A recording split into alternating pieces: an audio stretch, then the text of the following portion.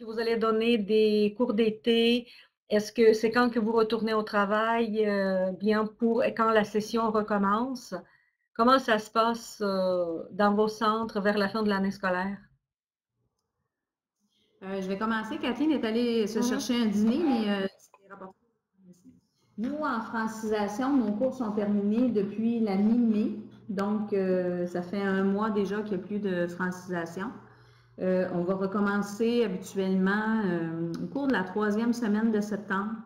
On passe euh, à la soirée d'information parce que nous, on a à Saint-Alexandre des, mon Dieu, c'est-tu des Péruviens? Je pense que oui, qui travaillent dans une entreprise d'abattage. Mm-hmm. Puis à chaque année, on a des nouvelles personnes, donc on procède toujours à une soirée d'information, d'inscription. Euh, vers euh, la troisième semaine de septembre, puis après ça, ça commence à la fin septembre.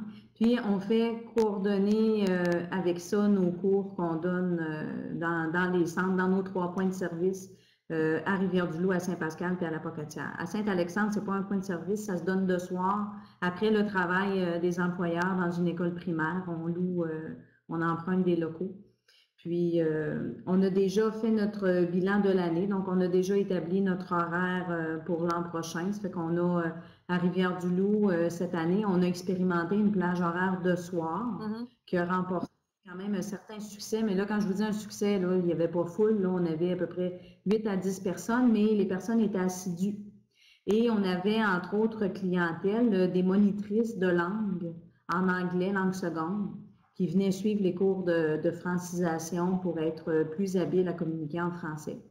Fait que, puis là, on a des gens aussi dans des euh, grosses entreprises ici, euh, Premier Tech, qui pourraient être intéressés aussi à venir de soir.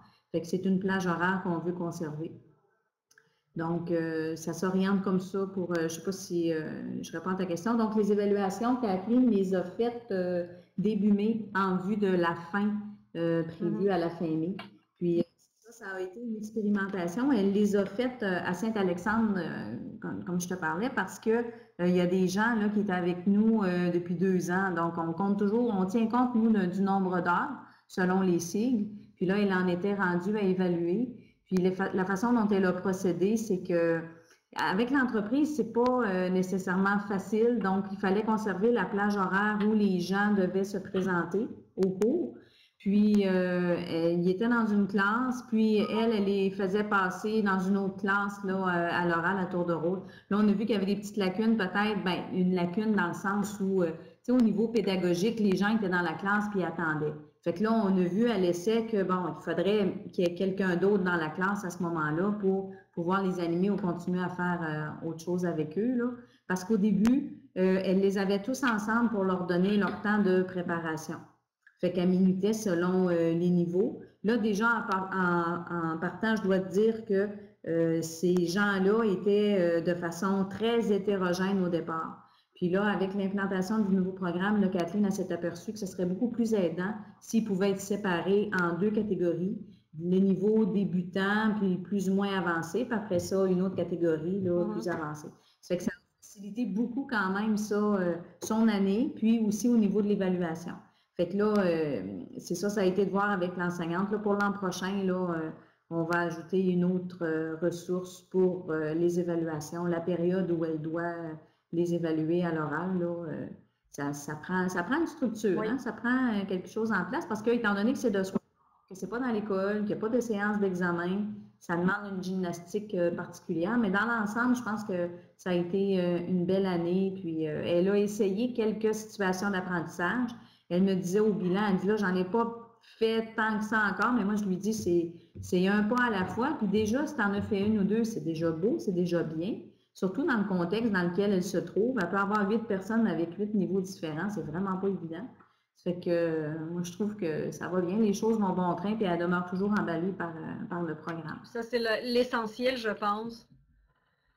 Quand on aime ce qu'on enseigne, ça va bien. Et quand on, on accepte le programme, oui, c'est différent, oui, c'est un changement, mais je suis en mode solution, ça c'est bien. Et c'est sûr que ça serait bien d'avoir euh, une personne pour les interactions orales, qu'une autre personne puisse faire des activités avec les élèves. Ça peut être des activités ludiques, des activités de vocabulaire. Euh, ils peuvent euh, raconter une histoire, tout simplement pour que les gens... Sinon, l'attente est très longue, surtout pour celui qui passe en dernier. C'est ça. Donc, c'est ça. Si c'est possible de prévoir, ça serait bien. Mais votre... C'est ça. Oui. oui, oui, continue. Je pour dire, je pense que tu la sens très impliquée aussi par les questions qu'elle pose. Euh, ça, c'est vraiment, euh, c'est vraiment agréable aussi. Puis là, ben, il y, a, du développement qui se passe euh, dans notre région. Rimouski, qui est à 1h15 d'ici, va devenir une terre d'accueil pour la francisation. Ça fait qu'ils sont allés, les gens de, Rimouski, la CP est allée rencontrer des gens au centre Louis-Joliette mm-hmm. à Québec. Mm-hmm. Fait que j'espère, parce que là, tu vois, jusqu'à maintenant, là, on est les seuls. Fait que moi, j'espère suite à ça, que ça va nous permettre de nous réseauter de façon euh, plus rapprochée, puis qu'on va peut-être pouvoir faire des choses en commun euh, à la suite de ça. Parce que souvent, ici en région, c'est nous qui sommes la référence, puis on se fait questionner comment vous faites ça, etc. D'ailleurs, notre directrice nous a demandé de, faire, euh, d'aller faire une présentation aux directions régionales à l'automne. Puis pourtant, là, on, est loin de faire ce que vous faites. Mais je veux dire, ici, au Bas-Saint-Laurent, c'est tellement peu présent que fait que là, je me dis, euh, si, nos voisins peuvent aussi en faire, ça, va être aidant pour nous. On va se sentir moins tout seul euh, dans notre bateau. Oui, je comprends. Je comprends et je veux répondre à Pierre euh, qui, qui te pose la question. Tu viens de quel CS? Pierre, c'est Kamouraska, Rivière-du-Loup. Merci, Karine. Merci. On va, on va voir les autres. Bon. nous, en fait, la francisation termine la semaine prochaine, donc le 22. Euh, nous avons une session d'été, donc pendant un mois, cinq semaines finalement. Là, c'est sûr qu'on essaie d'envoyer le plus possible les gens qui sont prêts en évaluation avant l'été parce que, bon, on est à personnel réduit pour les examens. L'année a été, mmh, bon, moi je suis ici en mars, c'est des commissions scolaires des découvreurs, je vais me nommer avant. Donc, je suis ici depuis mars. C'est difficile, bon, tu le sais, Rima, l'appropriation du programme ici, c'est difficile au niveau des contenus. Alors, on travaille fort, je, fais des activités qui font en sorte d'aider les enseignants. Je dirais qu'on fait de la francisation au sein d'entreprise. On a développé un peu ça. Et voilà, euh, beaucoup de travail et de priorités en début d'année, euh, l'année prochaine, ça c'est sûr. OK. Merci. Merci, Pierre. Alors, euh, bonjour tout le monde. Pierre Smart, commission scolaire Marguerite Bourgeois. On travaille dans l'ouest de l'île de Montréal nous avons quatre centres d'éducation des adultes et donc les cours sont offerts tout au long de l'année. Il n'y a pas de pause, sinon les deux semaines de la construction du mois de juillet. et puis les inscriptions se, sont faites cette semaine pour le départ en, juillet. Donc, ça se poursuit, ça va très bien. il y a eu, après avoir eu une baisse significative des inscriptions, l'année dernière. Cette année, on doit dire que on a repris un rythme de croisière assez intéressant, suffisamment en tout cas pour, pour, avoir des groupes homogènes. dans trois, oui, dans trois des quatre centres. à Jeanne-Sauvé, dans l'ouest, à Pierrefonds, c'est plus difficile parce que c'est plus, plus difficile d'accès. Donc, ils sont obligés encore de jumeler les, les niveaux 5 et 6. Mais sinon, ça va très bien. tantôt, j'ai eu Madame Karine de Kamouraska a parlé que à commençait à, donner des cours. je voulais juste dire que j'avais parlé hier avec Guylaine Fortin, qui est la CP, je crois, de la commission scolaire des phares à Rimouski, et l'enseignante Nancy, qui voulait avoir un petit peu notre point de vue sur comment travailler avec des multiniveaux en classe. Puis ce que j'ai partagé avec eux autres essentiellement, c'est les, les regroupements d'intentions qu'on a fait l'année dernière et qui sont sur Alexandrie en vue de l'élaboration des situations d'apprentissage. moi, je les ai mis dans un tableau là, pour regrouper par deux niveaux, ce qui fait que pour les niveaux 1 et 2, on voit tout de suite les intentions de communication qu'on peut travailler avec ces deux niveaux-là. La même chose avec 3 et 4 et la même chose avec 5 et 6. Je ne l'ai pas fait pour 7 et 8, mais bon. Ce qui fait qu'avec deux groupes différents, on peut travailler plusieurs intentions de communication à travers deux ou trois situations d'apprentissage et puis en aménageant la classe de façon à ce que les gens puissent se déplacer, bouger, etc. On arrive à travailler avec des groupes multiniveaux. par rapport à comment ça s'est passé cette année, on a fait une rencontre avec notre comité d'implantation qu'on a mis sur pied l'année passée en vue justement du nouveau programme. On a eu des rencontres encore cette année et au mois de fin mars, on a eu notre dernière rencontre et j'ai fait un bilan avec eux autres de ce qu'on avait fait durant l'année. Et j'ai vu avec eux autres, il y a un représentant par centre, donc on est cinq avec moi. j'ai vu le matériel, le matériel qu'on utilisait. donc, il y a beaucoup par ici, hein, qui est les, deux nouvelles publications pour les niveaux 3 et 4 et 5 et 6 qui ont paru cette année. les gens utilisent beaucoup le matériel gratuit sur Internet. ils utilisent beaucoup non, très peu encore les situations d'apprentissage, malheureusement. et puis, on a vu aussi au niveau de l'organisation scolaire comment ça se passait d'un centre à l'autre au niveau des inscriptions.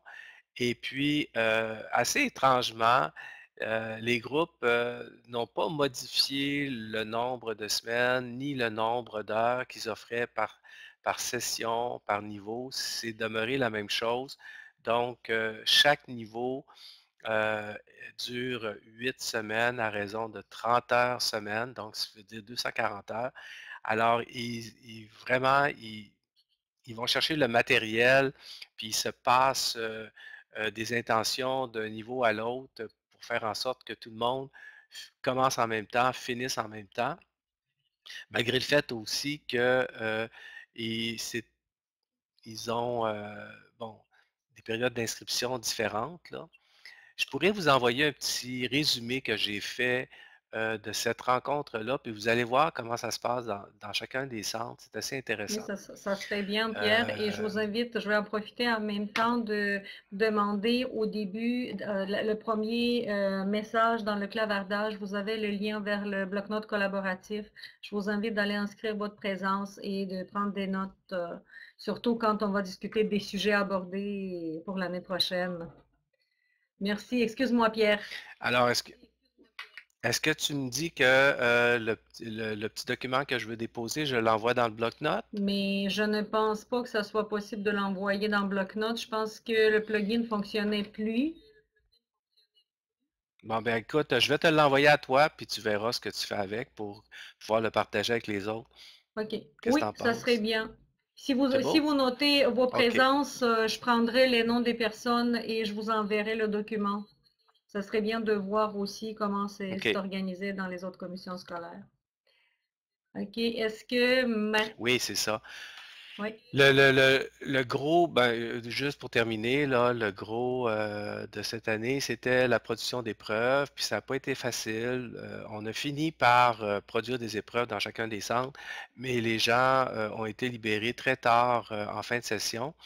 Puis comme, je ne sais pas comment ça fonctionne dans, les autres centres, mais nous, les profs, ils travaillent 800 heures, puis après 800 heures, ils s'en vont en vacances, puis ils se font remplacer par des gens qui sont à taux horaire. Donc, la plupart des gens, nous autres, ils sont, les, professeurs réguliers, ils sont partis à partir de la mi-mai. Puis on a obtenu des, libérations pour travailler sur des situations d'apprentissage, pas des situations d'apprentissage, mais plutôt pour des épreuves à la fin, à la fin mars seulement.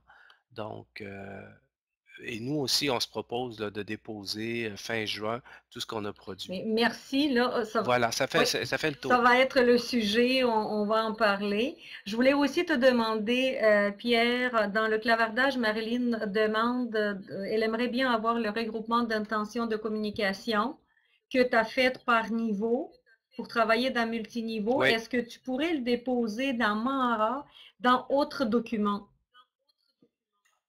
Oui, je vais le faire. Si, c'est possible pour qu'au moins on puisse euh, l'avoir là, peut-être que les autres en auront aussi besoin. J'ai reçu aussi d'autres documents d'autres commissions scolaires que je vais déposer. Parfait, je vais le faire. Mais chez nous, c'est la dernière session. On est en train de faire euh, bien les examens. Certains groupes ont commencé la production orale aujourd'hui, les autres euh, commencent demain. C'est sûr qu'on a fonctionné avec le prototype et avec euh, des, productions orales qu'on a développées, des sujets qu'on a développés en plus. La session passée, on a utilisé une autre version qui a été partagée par une autre commission scolaire pour la production écrite et production orale. C'est sûr que je dirais les examens ne sont pas équivalents. Il va falloir encore les tester, les améliorer. Mais c'est ça le, travail, c'est ça le dépôt sur Mara. On va tout, déposer, tout déposer, tout le monde. Et si on a des commentaires, on va pouvoir améliorer nos choses parce que parfois, on a le nez collé dessus et on n'est plus capable de voir. Pour nous, tout semble être correct, mais finalement, avec un œil euh, de, l'extérieur, tu vois des choses que, que tu pourrais mieux faire. C'est la dernière session qu'on a. On n'aura pas de session d'été. On recommence euh, fin, euh, oui, le 28, euh, c'est la pédagogique encore, euh, le 28 août à Camille Laurent, donc les élèves rentrent le 29. Et on fonctionne euh, comme cette année, on garde la même chose chaque session 10 semaines. Et on espère avoir les niveaux homogènes. On a pu faire cette année, la seule, on avait une fois, on avait le 5 et 6 jumelés, une fois, on avait le 7 et le 8 jumelés. Mais ou le soir, on va revoir notre programme le soir euh, l'année prochaine et probablement j'irai chercher des informations dans vos commissions scolaires, comment est-ce que vous fonctionnez aussi. Parce que ce n'est pas possible d'avoir des groupes homogènes, on se ramasse avec tous les niveaux presque ou presque dans le même groupe. Mais ce serait déjà un projet pour l'année prochaine. Est-ce qu'il y a d'autres euh, personnes qui voudraient partager comment ça se passe dans leur centre ou on va passer au point 2? On est en fin d'année, on est en évaluation. Euh, ce matin, nos apprenants, tout nerveux, déambulaient vers la salle d'examen euh, et j'en ai rencontré plusieurs. Ils étaient très contents. Euh, ils, semblaient vraiment confiants après cette épreuve. Ce, ce, nouveau programme-là, ça nous a amené vraiment à rehausser un petit peu euh, le niveau de, la qualité de ce qu'on qu'on offrait. Euh, ça nous a toutes motivés. Et puis, euh, on, peut voir chez les apprenants une satisfaction. Ils étaient, satisfaits avant, mais on, c'est palpable. C'est très agréable. C'est un beau feedback. ça, nous, ça, nous récompense bien en fin de parcours. cela dit, on trouve que c'est long, hein, remplir tous les formulaires après l'évaluation. C'est de l'appropriation. Et euh, la démarche qu'on a entreprise, nous, c'est de faire reconnaître euh, à notre direction le temps qui est nécessaire. Parce que le temps prescrit ne euh, suffit pas toujours. Et puis, on est chanceux, notre direction a été ouverte et puis on a été très bien reçus. Donc, nos façons vont être revues. L'année prochaine, on va avoir des, des, stratégies très arrêtées en ce qui a trait à l'administration des épreuves et aux reprises aussi. On aura un calendrier, on va avoir de l'aide. Donc, euh, on, veut que tout ça soit gérable parce que selon le rythme, on peut se retrouver en évaluation presque aux cinq semaines, aux dix semaines, ça revient vite. Oui, c'est vrai. Donc, euh, on est euh, un peu à faire ce post-mortem-là, puis nos demandes pour l'an prochain. cela dit, tout va bien. on est aussi en congé cet été. On reprend en août. Donc, ce qu'on a mis en priorité, c'est de gérer notre session d'inscription le mois d'août prochain, que l'administration, les secrétaires soient, euh, bien orientés pour accueillir les étudiants qui viendront s'inscrire cet été. Puis, euh, donc, on est à, planifier euh, cette, inscription massive-là pour le mois d'août, les évaluations de positionnement. on est aussi en attente d'informations de notre direction parce qu'on a parlé de la subvention. Euh, à laquelle euh, auront droit nos, mmh apprenants euh, à partir du mois d'août. Et puis, ben, on va voir ce que ça va amener comme changement dans l'organisation de notre, notre, notre cours, dans l'organisation de, de notre offre. Et puis, ben, comme nous, en tant qu'enseignants, on est on ne fait pas vraiment partie du plan de match. Bon, on est toujours à attendre de voir ce que ça va impliquer. C'est sûr que ça va amener des défis. Alors, on est aussi très, très motivé de voir ce que ça, va amener comme changement. Puis c'est sûr qu'éventuellement, je ne sais pas si ça aura sa place de discuter de cette espèce de partenariat-là avec le Midi dans nos communautés de partage, mais peut-être que ça pourrait s'y retrouver aussi. Oui, je pense que. Donc, c'est un peu ça. Mais, merci. La, seule question euh, que j'aimerais poser, euh, vous m'avez dit que les, élèves allaient à la salle de test pour faire les examens. Est-ce que c'était la responsable de salle de test qui lisait les consignes, qui s'assurait qu'ils Oh comprennent? non, non, absolument pas. Mais, Non, c'est l'enseignante. On, s'est déplacé parce ah, que la classe qu'on utilise est, est divisée uniquement avec une porte vitrée. Alors, pour euh, les examens, on déménage Ah, dans la OK. salle d'examen, mais c'est l'enseignante Ah, qui administrait OK, l'examen. c'est juste ça que je voulais vérifier parce que je dis OK, si c'est possible, C'est pas dans, dans leur tâche vraiment et les gens ne se sentent pas à l'aise à le faire. C'est ça. Mais, c'est très, et c'est- ça fait partie de nos mais oui, revendications aussi d'avoir euh, euh, du temps pour administrer parce que oui, c'est c'est quelque chose qu'on doit faire nous-mêmes. oui. hein. donc, pour ne serait-ce que la, la, la COPO, il faut, euh, il faut se réserver un, un bon moment Mais, pour mais faire. juste, CO à part COPO, il y a la compréhension écrite et production écrite aussi, et com- tout doit compréhension orale, oui. Et on oui. doit s'assurer, donc, veut, veut pas, ça demande vraiment de l'implication de la part de l'enseignant. C'est ça. Mais merci pour le partage. Euh, Pierre avait un commentaire à ajouter et j'espère que cette fois-ci, on va pouvoir euh, parler à Marilyn. Pierre, ton commentaire.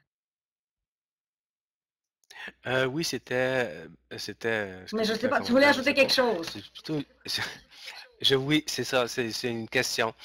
Euh, en faisant les épreuves, on s'est aperçu que, bon, euh, euh, c'était beaucoup de travail, n'est-ce pas?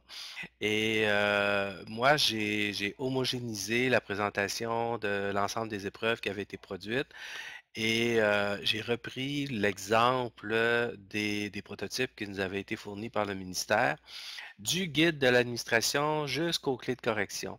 Alors, je me demandais si tout le monde avait fait pareil. Je pense qu'on va revenir quand on parlera des, des examens. Ça va être plus facile. C'est ça. On va laisser la parole à Marilyn et ensuite on embarque dans, dans les examens. OK? d'accord. Marilyn, finalement, est-ce qu'on peut? Oui, Allô? bonjour. Salut, salut. Donc, euh, nous, en fait, on va terminer euh, notre session le 30 juin. Ça va être euh, le- la fin de la francisation. Et euh, on a un cours d'été qui va être euh, pendant quatre semaines. Puis là, nous, on a changé notre structure pour l'année prochaine. En fait, on va avoir des sessions de 10 semaines. C'est nouveau pour nous parce qu'avant, c'était des sessions de 12 semaines, mais coupées en deux. Donc, à, la sixième semaine, on pouvait faire passer des examens. Là, ça va être des sessions fermées de 10 semaines. Donc, la session d'été qui dure quatre semaines seulement, ça va être une session qui va être comme euh, un peu décontextualisée. On ne va pas utiliser le nouveau programme à ce moment-là. Ça va être plus de l'enrichissement qu'on va faire, Mhm. des ateliers de conversation, euh, comme euh, plutôt des thématiques qu'on va aborder avec les étudiants qui vont être inscrits euh, à l'été. Euh, sauf pour les midis, parce qu'on a beaucoup, beaucoup de midis qui entrent encore chez nous, assez pour former des groupes là, en cette fin d'année Mhm. qui, qui est là. Donc, eux, ben, ils vont commencer vraiment leur programme à l'été, puis ils vont l'étirer. on, va, va faire les sessions avec eux. On n'aura pas de bel choix. Donc, ça va ressembler à ça. Et puis, euh, on recommence tous le 28 août, en fait, euh, la, francisation. Là, tous le- nos étudiants devraient entrer cette date-là. Et puis, nous, on explore un petit peu euh, pour l'année prochaine, peut-être se servir du logiciel Rosetta Stone pour, comme matériel complémentaire à l'enseignement, en fait, pour peut-être du matériel un peu plus individualisé. Et puis, on a déjà un enseignant qui travaille en entreprise, qui fait des pré-tests en lien avec Rosetta Stone, puis qui fait la correspondance avec notre nouveau programme, justement. Donc, on est en train d'arrimer ça euh, un peu pour essayer de l'utiliser avec le nouveau programme, justement. Donc, euh, ça ressemble un petit peu à ça pour notre fin d'année, nous, euh, en fait. Merci Voilà. pour ça. Si vous voulez utiliser les logiciels, peut-être euh, celui qui peut être aussi intéressant, c'est Tell Me More, mais pas en français. Il y a Tell Me More en anglais, mais il y en a en français aussi. Donc, Oui. Ben, en fait, Rosetta Stone, c'est la même chose, c'est la même compagnie que le, le, le représentant m'expliquait. Tell Me More, c'est plus pour les, niveaux avancés. Oui, Et Rosetta Stone, c'est plutôt pour les niveaux débutants. c'est vrai parce que j'ai travaillé avec quand j'étais enseignante, mais je, j'ai- quand j'étais CP+, c'est ça. J'ai présenté, j'ai aidé Mhm. les enseignants à y travailler, mais vous allez voir, euh, c'est ça. Ça permet au niveau des niveau 1, 2, max 3 de travailler le vocabulaire, la prononciation, d'intégrer toutes les choses. C'est sûr qu'à partir de niveau fin niveau 4, même niveau 4, Bon, on a perdu, On a perdu Rima. on a hein. perdu Rima, je crois, oui. Mes sympathies à Rima. Elle va nous retrouver, je suis certaine. Alors, j'en profite, euh, je vais prendre le relais. Je vais Oui. passer tout de suite au point 2, qui est le point euh, nouveauté Mahara. Donc, euh, l'idée, c'est de juste vous présenter où s'en est rendu dans le dépôt des évaluations. Alors, euh, je pourrais vous faire une démonstration si vous voulez. Vous pouvez y aller en même temps. L'idée, c'est de vous montrer où ça en est. Donc, quand vous allez sur mahara.ticfga.ca, donc vous avez euh, dans votre navigateur, vous tapez cela. Ensuite de ça, vous entrez votre nom d'utilisateur et mot de passe. Ça devrait normalement vous amener sur votre tableau de bord si vous avez déjà un compte dans Mahara. Et du côté droit, si vous regardez attentivement, vous devriez voir quelque part un groupe qui s'intitule Évaluation Francisation. Donc, ce groupe Évaluation Francisation, vous avez qu'à cliquer sur l'hyperlien et ça va vous amener sur une page qui va ressembler à celle-ci. Elle est petite parce que j'ai voulu m'arranger pour que tout le contenu soit présent. Hein? Alors là, si vous ne voyez pas très bien, vous pouvez prendre le petit zoom avant qui est en bas à droite pour grossir l'image et mieux voir de quoi il en retourne. Donc, quand vous arrivez sur la page d'accueil du, groupe, vous allez voir qu'il y a dans la colonne là où on voit des LAN et compagnie, on retrouve par niveau des dossiers dans lesquels on retrouve les évaluations qui ont été remises à RIMA ou que vous allez pouvoir déposer bientôt. Oui, mais on l'a fait. Mm. Juste, je voulais, c'est ça, juste euh, à préciser, il faut vraiment bien identifier la version. Ça, Stéphane, ensuite, je te laisse continuer. Sauf que euh, je sais que chaque commission scolaire, comme on avait la version A, qui était le prototype, mais les versions que nous avons fait, c'était toujours la version B. Donc, s'il vous plaît, notez commission scolaire pour qu'on sache, OK, ça peut être la version B, mais de la commission scolaire région de Sherbrooke, la version B de Marguerite Bourgeois, la version B de la capitale. Comme ça, après ça, dans les centres, vous allez les renommer B, C, D, E, comme vous le voulez, mais au moins pour qu'on puisse s'orienter dans les documents qu'on va avoir. Il y a une question de Pierre. Vas-y, Pierre, pendant le temps que je vous partage mon écran. Euh, oui, euh, j'ai eu une rencontre avec le comité pédagogique euh, cette semaine qui est composé de l'ensemble des directions des quatre centres et je leur ai présenté le bilan de la francisation pour cette année. Puis, ils m'ont demandé, lorsque je, leur ai parlé de Mahara, ils m'ont demandé pourquoi on avait choisi Mahara plutôt que de déposer sur BIM comme l'ensemble de- des disciplines de la FGA le fait. Donc, euh, est-ce que vous avez une réponse à ça? Mais premièrement, sur BIM, pour déposer les examens sur BIM, Pierre, ce sont les examens que la GRIX crée. OK? Donc, si l'examen est créé, il est dans la banque générale. Sinon, chaque commission scolaire a sa banque locale.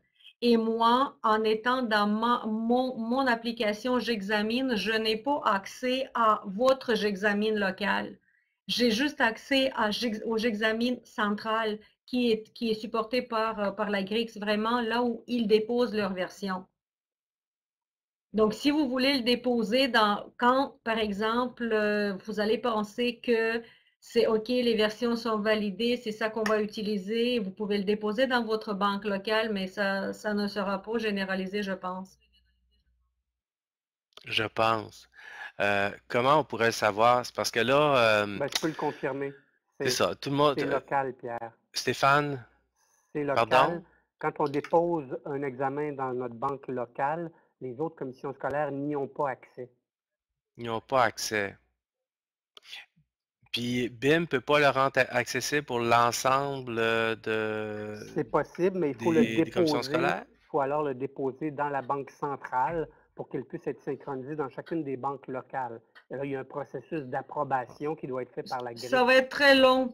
Oui, ça va être très long et si on veut avoir les versions, plusieurs versions pour le rouler l'année prochaine, je pense que ça serait la meilleure solution de garder ça sur Mara et peut-être on, euh, commencer les, les, discussions avec la GRIX pour voir. OK.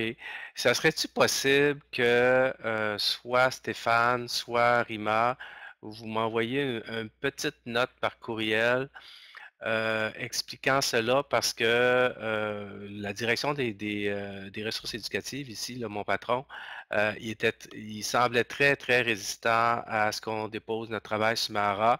Lui, il, voit, il, il, il voyait BIM, puis il disait on travaille avec BIM, puis il faut que ça passe par BIM, puis tout le tralala.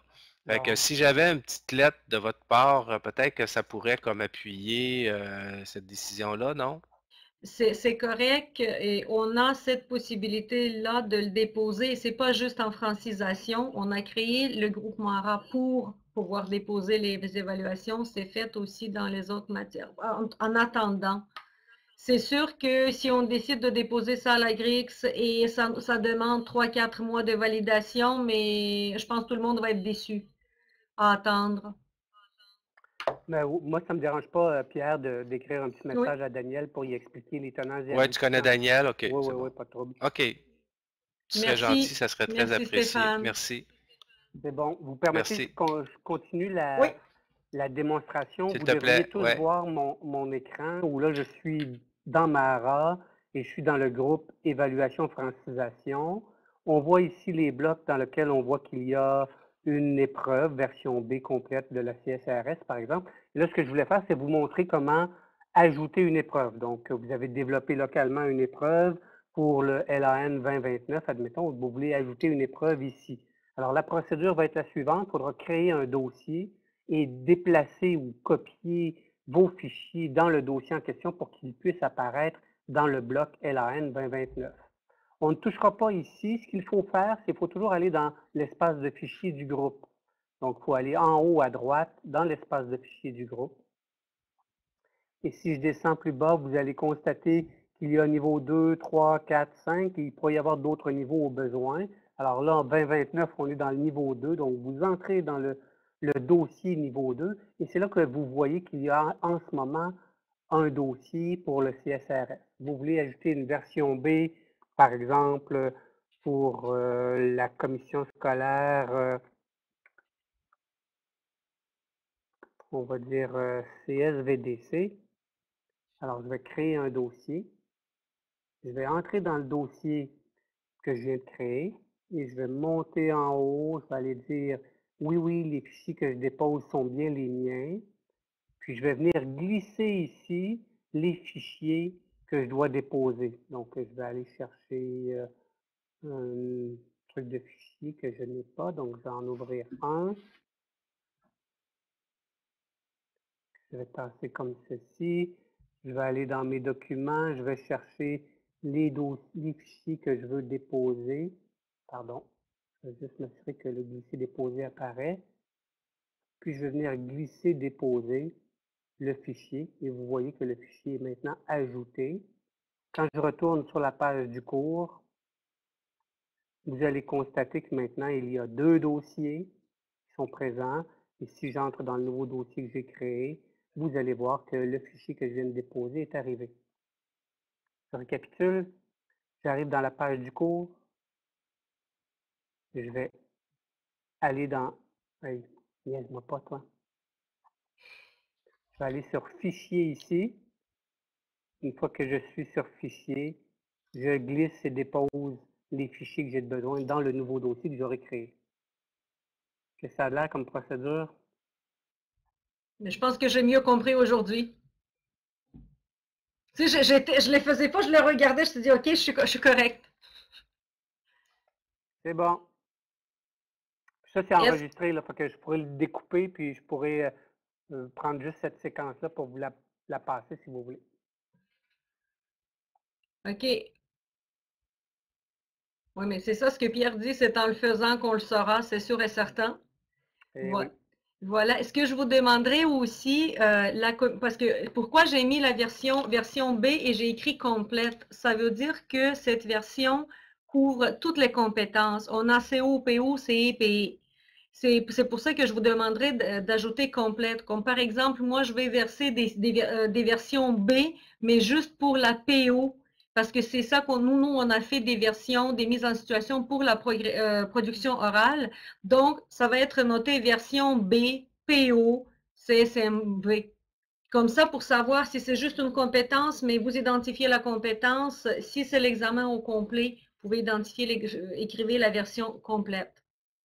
Et je vous invite aussi d'aller explorer les examens. C'est sûr que, et là, on va pouvoir uti- utiliser le forum. J'ai pas mis de, de messages dans le forum euh, de Mara, mais la prochaine fois, quand quelqu'un va déposer un fichier, s'il vous plaît, je vous invite à aller dans le forum et à envoyer un message à tout le monde comme quoi moi je viens de déposer un examen complet ou un examen sur une compétence ou je viens de déposer un document. Pierre, par exemple, le document sur euh, les, les regroupements des intentions pour multiniveau que tu vas faire, tu nous envoies un petit message, mais tous les membres du groupe Mara vont recevoir un courriel. Ils seront toujours au courant des nouveautés qui sont sur euh, Mara.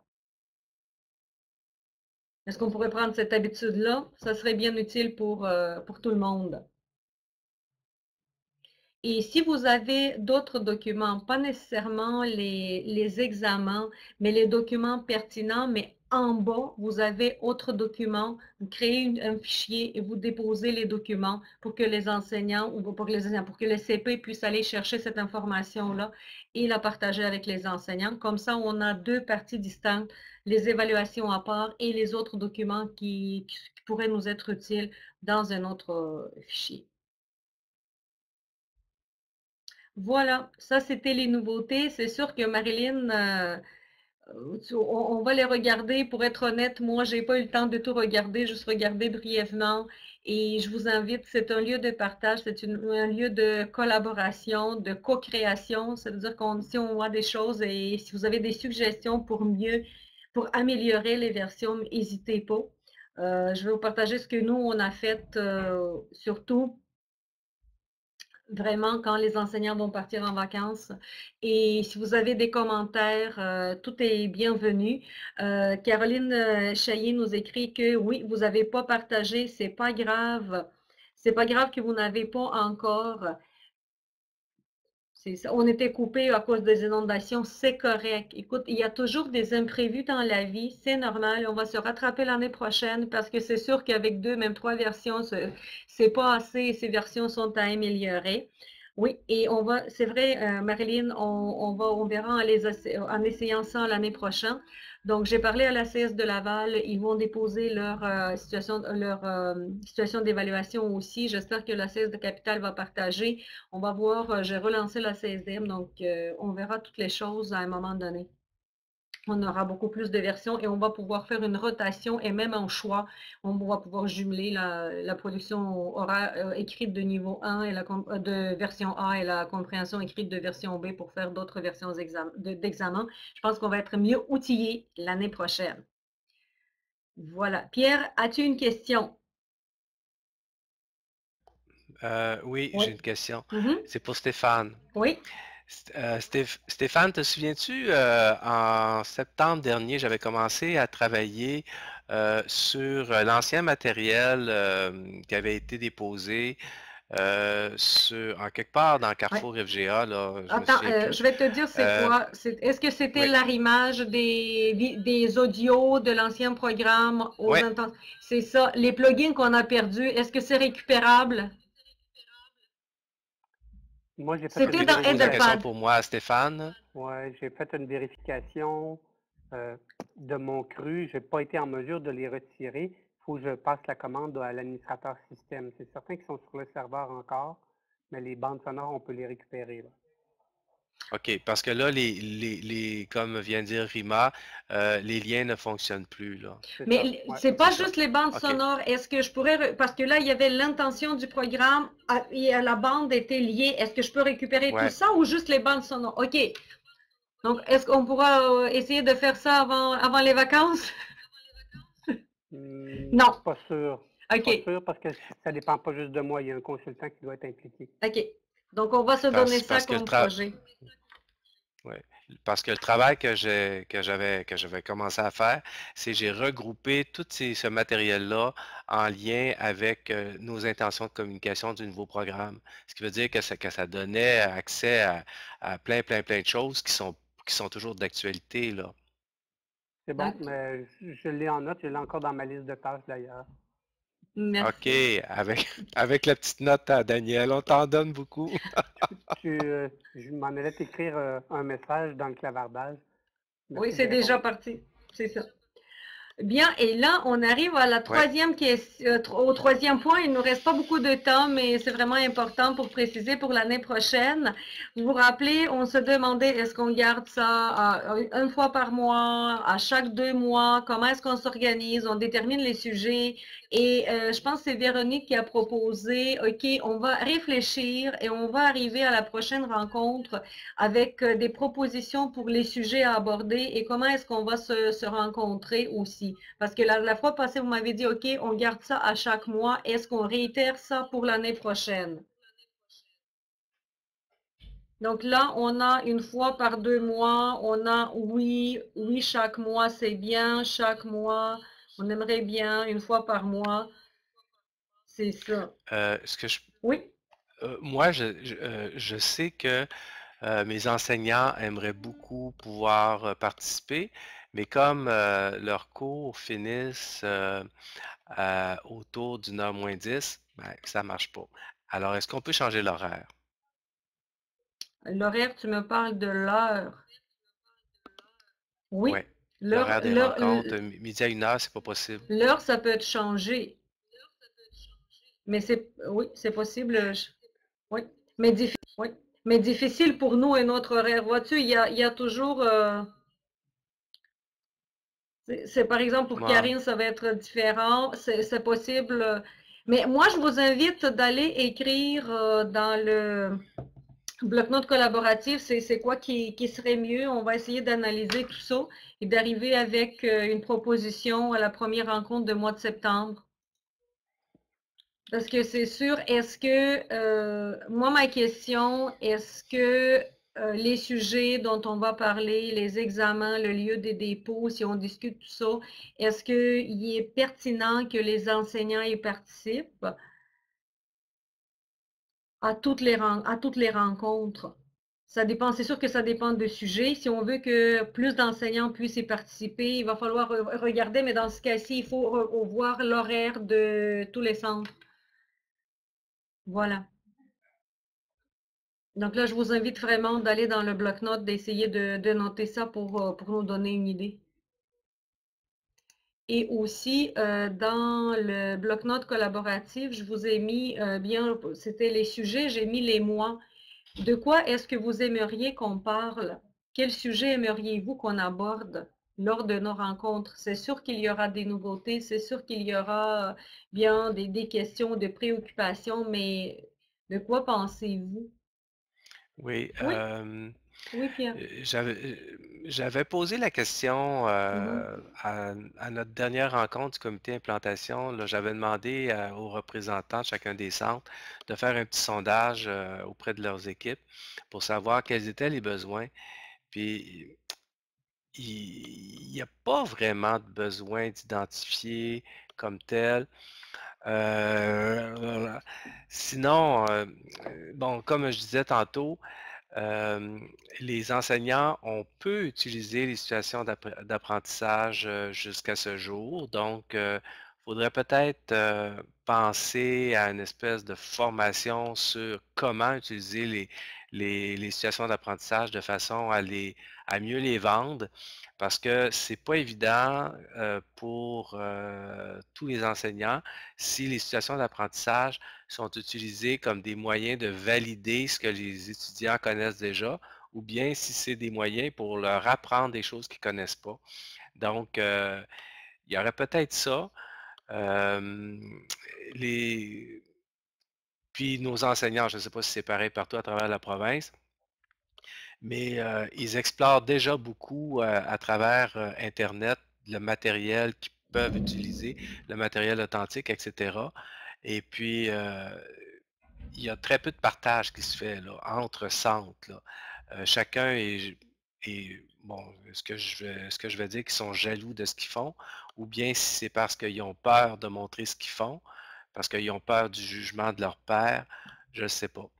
Mais à ma connaissance, il n'y a, pas autre chose qui est ressorti que les situations d'apprentissage. Mmh Donc, je ne sais pas si pour nous, on peut en discuter entre nous. je ne sais pas si ça pourrait devenir un thème sur lequel on devrait se pencher. je lance la question. Mais ça serait aussi intéressant de voir vraiment comment est-ce qu'on comment est-ce qu'on vit là euh, en classe, parce que chez nous, les enseignants, euh, certains les utilisent comme activité synthèse après avoir enseigné les intentions, vraiment pour voir si l'élève est capable de mobiliser, de faire l'ASA. Les autres euh, pigent certaines tâches dans les SA et les utilisent pour une activité d'enseignement. Donc, c'est quoi le but? Comment est-ce qu'on les voit? Oui, ça serait probablement intéressant d'en discuter, mais de voir, OK, à quel moment est-ce qu'on en discute? Comment est-ce que on, voit cela. Et ce que je vois aussi, euh, si vous avez noté l'évaluation de l'oral, euh, il s'agit de précisément de quoi? Est-ce que ça, il s'agit de l'utilisation de la grille? Comment est-ce qu'on départage la compréhension orale de la production orale?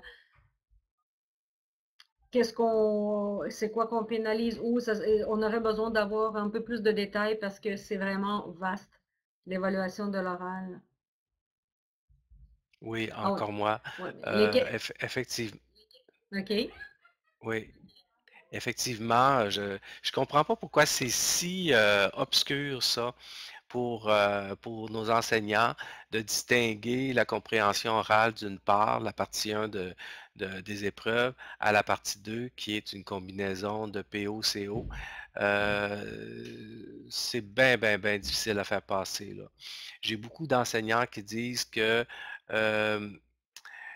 évaluer la production orale dans un contexte d'échange, euh, la compréhension orale dans un contexte où le, dans un contexte d'échange, c'est un petit peu faux parce que peu importe ce qu'il va te répondre, tu vas toujours, euh, tu vas toujours trouver matière à, dire OK, c'est correct, c'est ça qu'il a voulu dire, ou etc., euh, etc.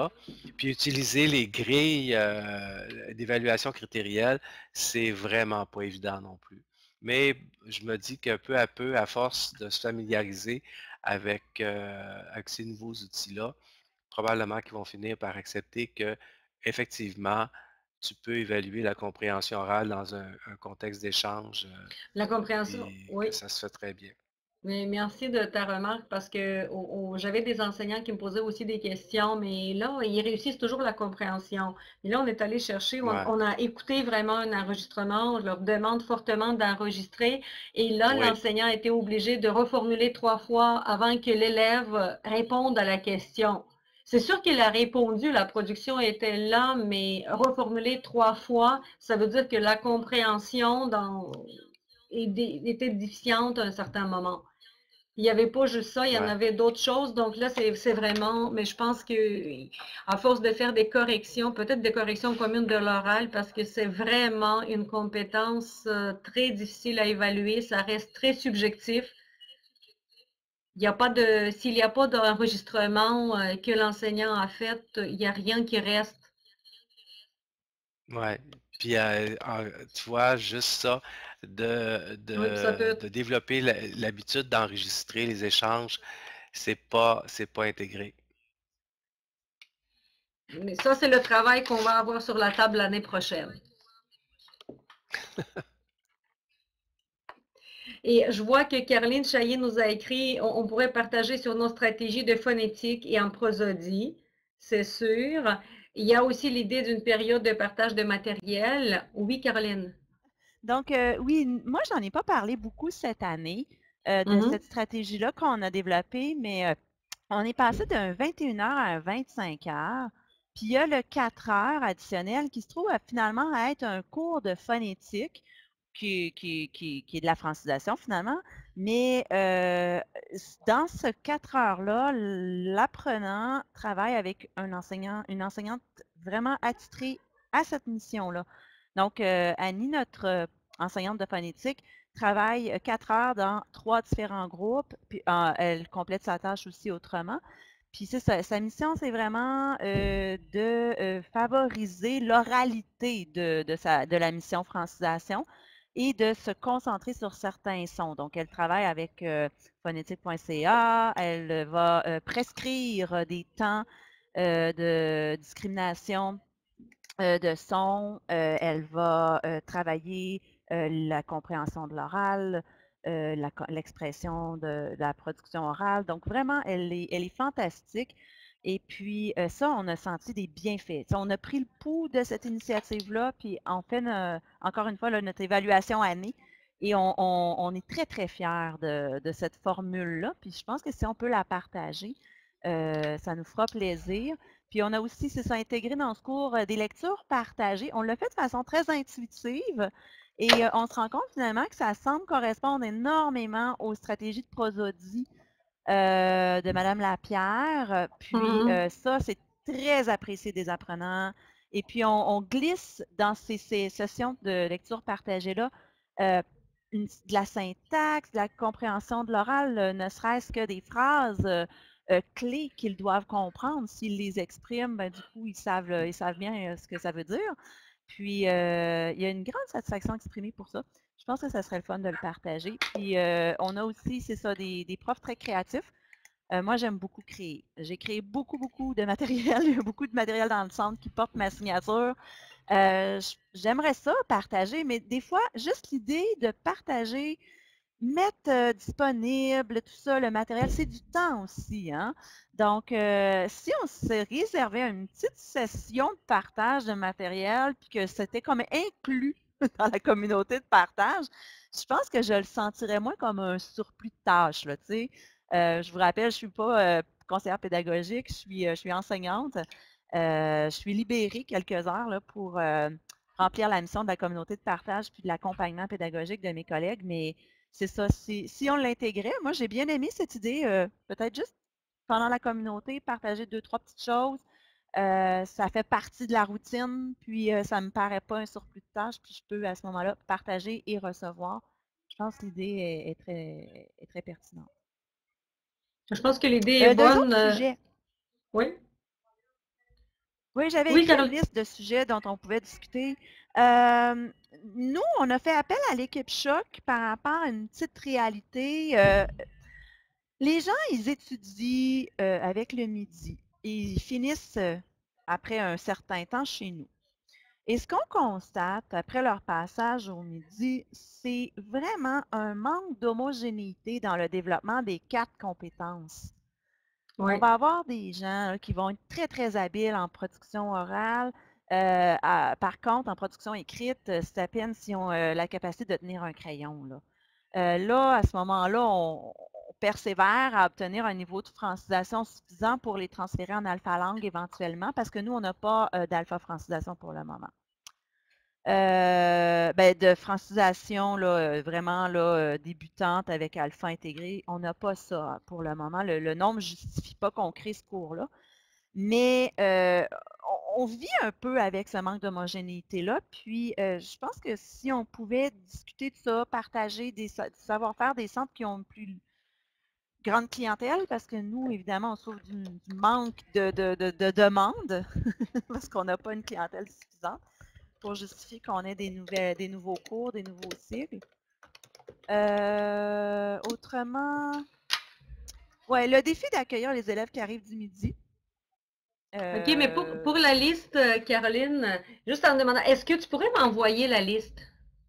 Oui. Et je vais, je, vais la, je... vais la mettre dans le bloc-notes, je vais faire copier-coller dans le bloc-notes collaboratif. Je vous invite si avant de partir en vacances, si vous avez d'autres idées euh, sur les sujets qu'on pourrait aborder, s'il vous plaît, notez-les. Ça ça, ça me permettra de regarder, d'essayer d'organiser nos discussions, d'organiser les rencontres pour que nous, on ne tourne pas en rond, pour que ça soit vraiment euh, enrichissant pour que ça soit intéressant pour tout le monde. Et c'est sûr que l'idée de pouvoir partager, peut-être prendre cinq minutes, dix minutes à déposer un des fichiers sur euh, Mara, deux, trois fichiers, mais si vous savez à l'avance c'est quel fichier que vous, euh, que vous voulez partager, ça serait, on va regarder ça avec Stéphane, comment ça va être possible. Si tout le monde en même temps s'en va sur Mara, est-ce que ça va fonctionner ou non?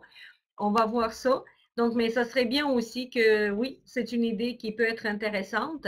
Et là aussi, euh, si vous envoyez, euh, ah, vous avez noté les sujets, vous, allez m'envoyer d'autres, euh, Caroline va m'envoyer ça, je vais tout noter, mais s'il vous plaît, si vous vous sentez, si vous êtes intéressé par un des sujets, je vais essayer de regrouper ça, de, mettre ça plus ou moins clair pour que ça, ça, suive un, déroulement.